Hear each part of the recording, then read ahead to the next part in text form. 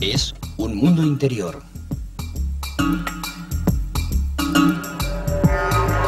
Una ciudad por la que discurren cada día millón y medio de viajeros. Un túnel de espacio y tiempo. Una galería de personajes con sede en las entrañas de Madrid.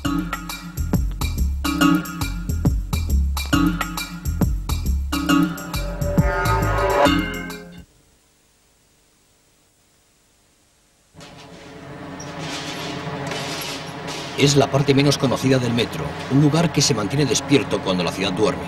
Son las 12. En el depósito de Canillejas comienza la actividad nocturna. Secundino tiene la responsabilidad de manejar esta máquina de fuego con la que se corrige el desgaste ondulatorio de los carriles de la vía. Además, limpia la grasa de los raíles con el fin de que funcionen a la perfección los sistemas informáticos de control de los trenes. Su actividad solo es posible cuando las bocas del metro están cerradas. En sus 10 años de trabajo nocturno, Secundino ha visto de todo. Gente durmiendo en los bancos, mendigos, hay gente que a veces los ves que parece que están haciendo porros y cosas de estas, pinchándose y todo esto. Es lo que hay. Pues sí, una vez nos llevamos un susto con otra de las máquinas que, que tenemos. Estábamos en, en ella en una cabina esperando para salir cuando oímos que pitaban en la, cabina contraria y pensamos, coño, ¿quién, ¿quién andará ahí en el otro lado? Y fuimos para allá y había dos individuos allí en la cabina intentando llevarse la máquina. Sí, las condiciones de trabajo pues son muy, muy malas. No sabemos hasta qué grado de, de malo puede ser, o de peligroso, o de tóxico, porque no tenemos que trabajar con las mascarillas que llevamos aquí. Antipolvo. Así cuesta. Y son bastante incómodas. Se te irrita la piel de la cara, no puedes respirar bien y demás. Todo eso. Secundino es una de las alrededor de 100 personas, entre encargados del material móvil y de limpieza, que en Canillejas ponen en orden el desgaste de un día intenso de trabajo. En estos talleres se procede cada noche a la revisión periódica de los vehículos y son reparadas las averías en una batalla contra el reloj. los fines de semana en particular es desastroso, no solamente en pintadas, sino en el destrozo de líneas, porque hay coches que vienen a lo mejor con 40 lunas rotas. Después de 35 años en la empresa, pues ya convive uno como si fuera en su propia casa y va viendo los problemas y le toma cariño y, sigue tomándole y tiene un interés porque los problemas se resuelvan. Pero veces que ahí tiene que hacer uno hasta cosas que no son de su competencia por dar un buen servicio. Los nuevos vehículos han reducido notablemente el número de averías, pero no es la única lucha que se mantiene en estos talleres.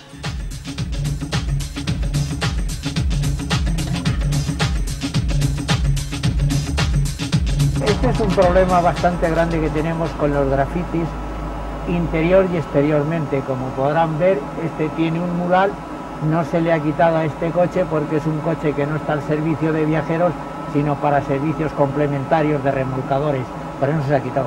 Pero en los que está para el servicio de viajeros, pues nos crea bastante problemas y bastante gastos, porque ha habido días que se han metido en una cabecera de línea asaltando las cancelas y nos han pintado pues hasta seis coches y, se ha gastado para limpiarlos pues el trabajo de 8 o 10 personas y 125 litros de disolvente. Metro se gasta al año más de 50 millones de pesetas en agotar la paciencia de los grafiteros con la filosofía de a ver quién se cansa antes, si tú de pintar o yo de repintar los vagones. No es más que una parte de los 1.400 millones que cuesta mantener limpios los trenes e instalaciones del metropolitano. La limpieza corre a cargo de dos contratas. No se puede decir, salvo en estaciones muy concretas, que el metro madrileño sea más sucio que el de otros países de nuestro entorno, pero tampoco se puede afirmar que somos los más cívicos de los ciudadanos. María es una de las cuatro mujeres que trabajan a ras de andén en las noches de metro. No, la noche no, no es, no es muy dura. Es bastante llevadera, además se trabaja bien en el metro de noche. Es como muy familiar. Familiar. Familiar entre los compañeros, porque no hay nadie, estamos solos, es como una casa y limpiando, simplemente. Yo no sé si es que no estamos mentalizados. Yo creo que falta un poquito de, de mentalizarse el público. No hay lo que tiene que ver. Te están viendo que estás haciendo una limpieza en condiciones y a lo mejor te vienen por detrás tirando propaganda. Que eso es desagradable, porque tienes que repetir otra vez el trabajo que has hecho. Leocadio lleva 19 años trabajando en la limpieza del metro. Tanto tiempo curte mucho. Él, como pocos, saben cuáles son las estaciones menos limpias de la red y las de mayor riesgo. No son otras que aquellas donde proliferan las actividades de drogadictos, mendigos y repartidores de propaganda. Es otra de las caras de la noche. A mí un mendigo no me preocupa en absoluto, que en un momento dado pues se quede durmiendo en un banco. Pero lo que sí me preocupa son la gente que se mete dentro a pincharse y a drogarse. Entonces son gente para mí peligrosa porque en un momento dado no sabes la reacción que puede tener. Son días de frío. El metro es el único refugio para gentes sin hogar. Los sueños aquí tienen otro aspecto. Es lo mismo. Tampoco hay ni mucho que soñar ni tiempo para ello. El despertador suena cada mañana a eso de las 5 en la estación de Atocha. La vigilancia del metro avisa de que está a punto de iniciarse otro día bajo el asfalto. Es el momento de ver los últimos restos de la noche y los primeros rayos del día. Pero en la calle, claro.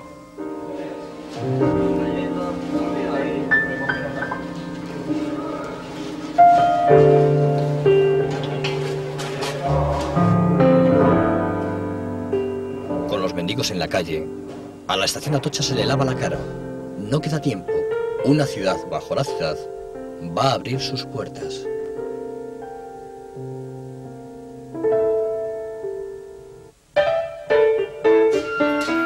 A partir de este momento empieza la ley implacable de la hora punta. Más de 130 trenes empiezan a recorrer las venas de Madrid. Cientos de miles de personas deambulan por estas carreteras subterráneas. Necesitan del metro para llegar a su trabajo. Hay un vínculo diario de dependencia sin el cual la vida en superficie sería imposible. En el puesto de control de mando lo saben bien. Desde aquí se organiza el tráfico de trenes de toda la red de metro. Cualquier incidencia debe resolverse en un plazo mínimo de tiempo para evitar la parálisis de esta frenética maquinaria. Desde aquí, casi todo es posible. Es el cerebro que gobierna todos los movimientos, que analiza todos los males y receta las soluciones.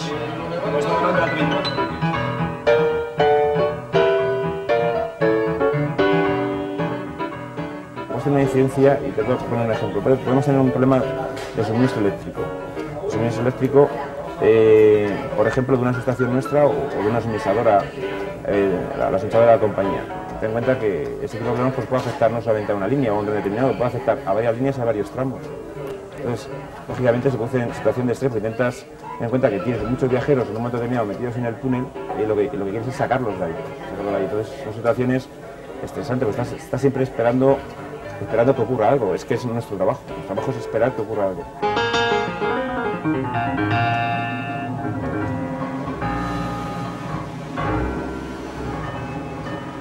Primera hora de la mañana es pródiga en sucesos.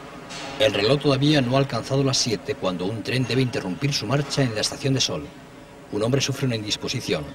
Rápidamente una pareja de guardias jurados le atiende, incluso se llama a una ambulancia, pero el afectado decide salir a la calle por su propio pie.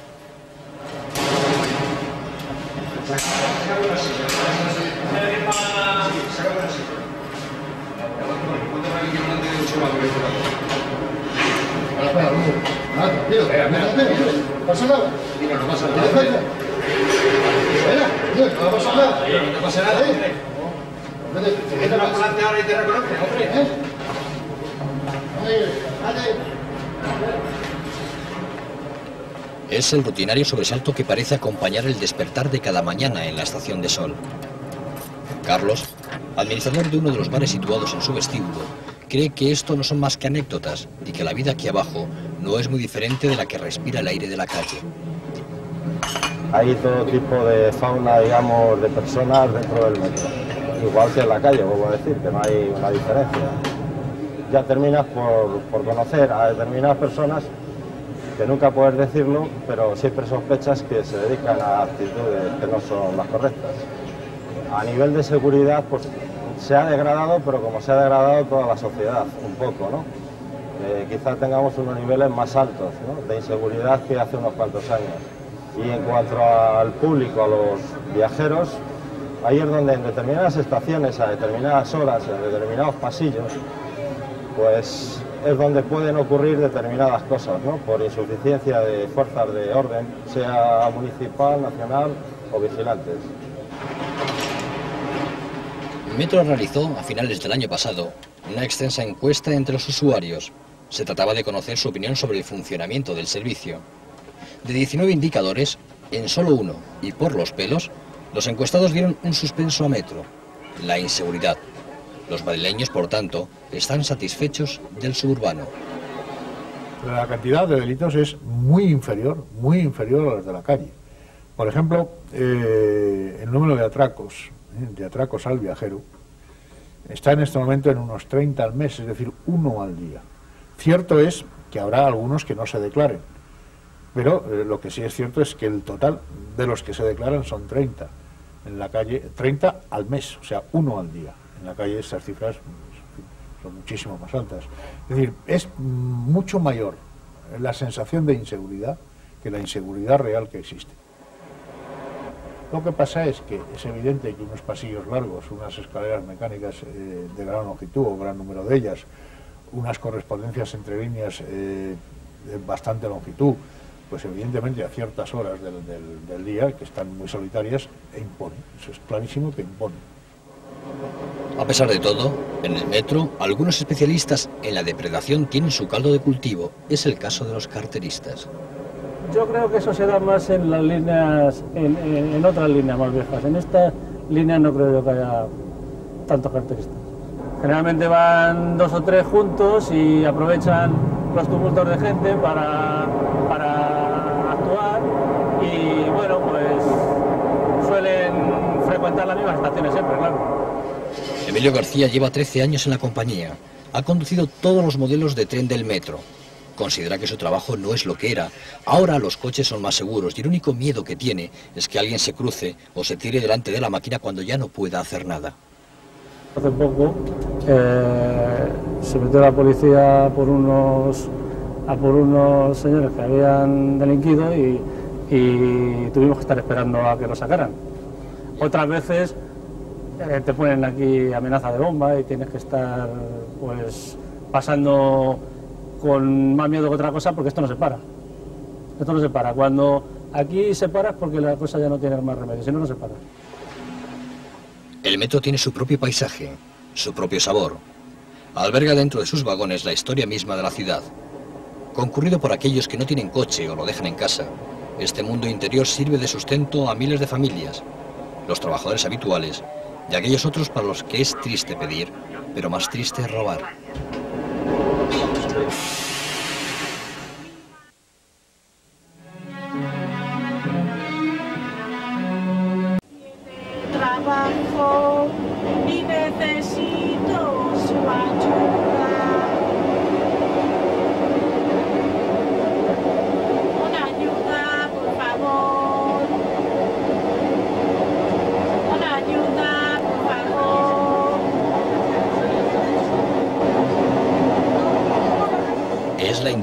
De la rutina.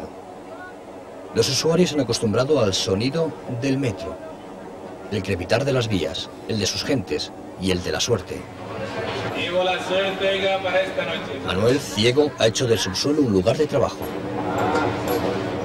La suerte para hoy. Premio para esta noche. Oiga la suerte. La gente que tiene eh, el vicio de jugar es un número, ese capricho. O gente que ha oído el día anterior que, pues mañana si eres eh, acuario, juega el 20 y viene te pregunta el 20. Oye, ¿tienes el 20? Y, y- y resulta pues, que vienen todos los acuarios pidiendo el 20. Si tuvieras todas las tiras del 20, las vendería. Entonces, eh, esas eh, anécdotas de ese tipo. Yo particularmente no he tenido así ningún tropiezo, ¿no? Yo creo que no es, no es- más peligroso el metro que la ciudad. Esa, es la, imagen que yo tengo, vamos, la ciudad arriba. Realmente me, me conozco mucho, muchas estaciones de metro de Madrid y las líneas, la orientación hacia dónde van y todo eso, las conozco todas prácticamente. Pues no, las dificultades que yo más encuentro es la gente que está vendiendo en los pasillos y luego también la gente en el metro, a la- en el tren, a la hora de bajar y subir, que se pone en la puerta o en el andén no, no deja pasar.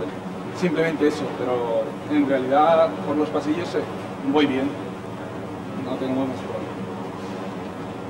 A veces me siento un poco sí, agobiado de tanta gente eh, y un poco pues el ambiente que se nota un poco cargado y pues es lo que se nota un poco agobio, eh, un poco a veces llega a ser un tanto estresante. Pati 751, ¿me repites cambio? Eh, ¿En qué parte de América os encontráis exactamente, cambio? Pues ahora mismo estamos bajando las escaleras dirección línea 8, cambio. ¿Nos puede decir cómo está la situación, cambio? Pues era de vendedores, cambio. Los vendedores ambulantes son parte del escenario. A lo largo de 1993 fueron realizados más de 200.000 desalojos por parte de guardas jurados, pero su eficacia fue nula. Solo la policía municipal tiene capacidad para decomisar los productos que de manera ilegal venden. Además, el desarrollo durante la última década de una importante red de establecimientos en los vestíbulos ha encontrado en los vendedores ambulantes un punto de confrontación. Los comerciantes se quejan de competencia desleal. Metro ha solicitado en repetidas ocasiones la intensificación de la vigilancia por parte de la Policía Municipal, que el año pasado realizó más de 21.000 intervenciones, decomisando en la mayor parte de los casos mercancías perecederas. Los responsables de la compañía esperan como agua de mayo la entrada en funcionamiento de la Policía Autónoma, que dedicaría gran parte de sus efectivos a la vigilancia del suburbano. Aún así, no descartan otras soluciones, ubicar a un 4 o 5% de los vendedores ambulantes que hay en la red en lugares prefijados, siempre fuera de los vestíbulos en los que hay negocios legales.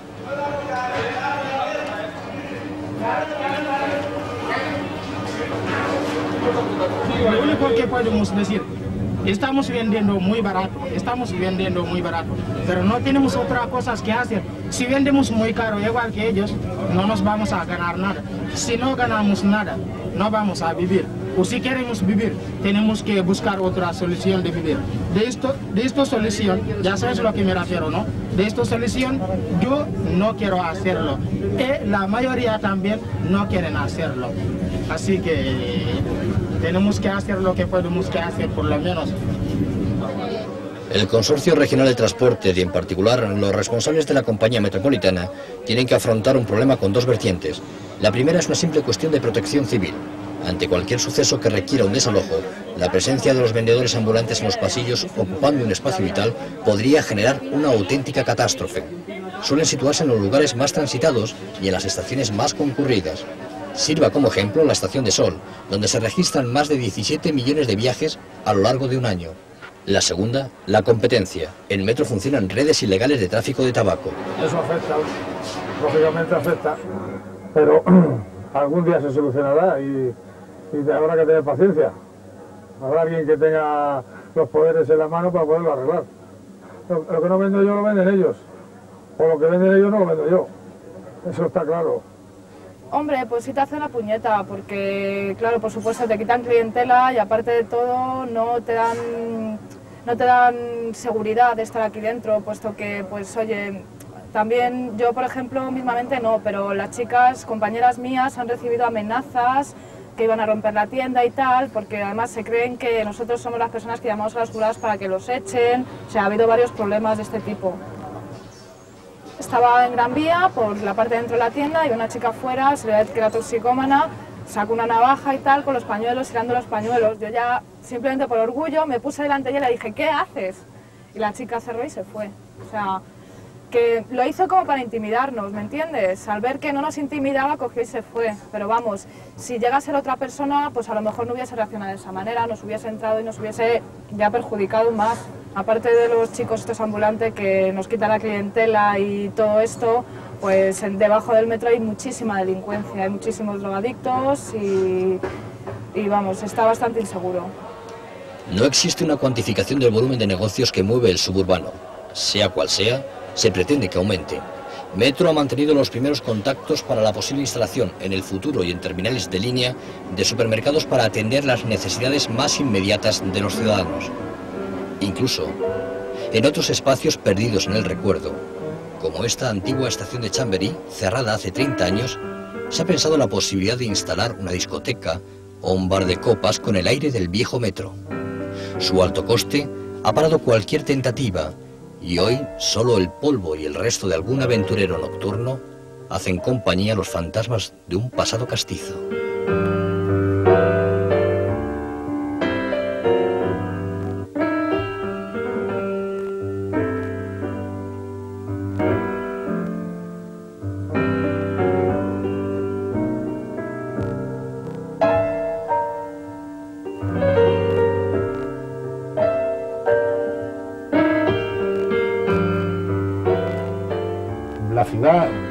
Forma parte de ese metro. Es decir, lo que hay arriba está también abajo. Y no se diferencian en nada y hay casi los mismos tipos de comercio. Eso creo que es un servicio de verdad que el público aprecia. Habrá que tener sus precauciones con la inseguridad, por supuesto, pero mm, yo también creo que si eh, una cosa es útil al público y el público la cuida, pues eh, esos problemas de vandalismo y de inseguridad, en cierto modo, disminuyen. Son los proyectos de futuro de un metro que para el año 2000 tendrá 36 kilómetros más de vías y llegará a casi todos los rincones de la capital. Mientras tanto, Amparo seguirá contemplando la evolución de esta casa repleta de anécdotas y pillerías. Un ingenio aplicado al arte del ahorro. Por 125 pesetas hay gente dispuesta a casi todo. Hace poco, mismamente, una señora que me pasaba con una escoba y me decía que la tenía que dejar pasar sin pagar porque la mandaba al ayuntamiento que venía a barrer los andenes, que venía de parte del ayuntamiento. También teníamos el caso de otro señor que pasaba con la cartilla de la seguridad social. Que eso, que sí, que le valía para pasar. O sea, tenemos muchas anécdotas, a nivel que también tenemos mucho miedo. A la soledad que tenemos y la inseguridad que tenemos, sobre todo cuando venimos a abrir servicio por la mañana y por la noche cuando se cierra. Pero los hay menos sutiles y en mejor forma física. Por arriba, por abajo. 110 vallas, salto de altura, algunos en equipo y otros con dificultades de peso. Lo cierto es que este es un problema muy serio que le cuesta al metro unos 300 millones de pesetas al año por culpa de estos ahorradores empedernidos. En los vestíbulos mecanizados es donde el fraude llega a alcanzar incluso el 20% según la empresa y el 30% según los sindicatos. En un cálculo puramente mercantilista o economicista, el personal ¿eh? que tendríamos que tener de servicio en esos vestíbulos costaría aproximadamente de dos a tres veces más que el incremento de fraude que se produce en esos vestíbulos. Eso no quita para que haya otros problemas que son la pérdida de imagen, el ver que la gente se cuela en esos vestíbulos, el problema de que puede, de que puede eh, ocurrir que eso pues acelere un fraude mayor si no se combate de otras maneras, que es lo que estamos haciendo. Eh, se ha nombrado un grupo de intervención importante, formado por 30 personas fijas. Pero Metro no es solo una ciudad. También puede ser un bosque, al menos para Pablo Cañado, conocido como el Robin Hood de los vagabundos. En el tiempo que su negocio le deja libre, canta en algunas estaciones y entrega el dinero que gana a los mendigos. La música es su pasión y en el metro encuentra siempre sus mejores notas.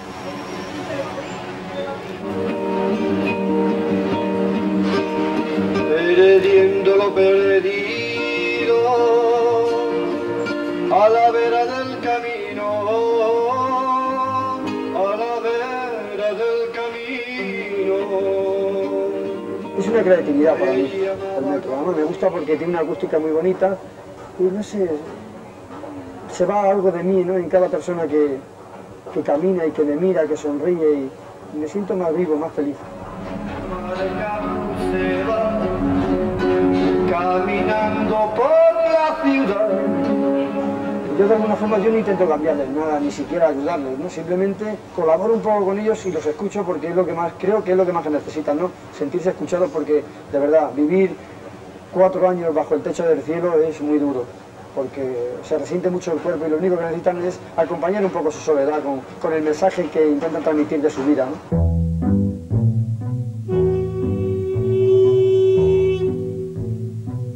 La noche se echa encima. El frío aprieta y la imagen de la ciudad viaja al interior del metro.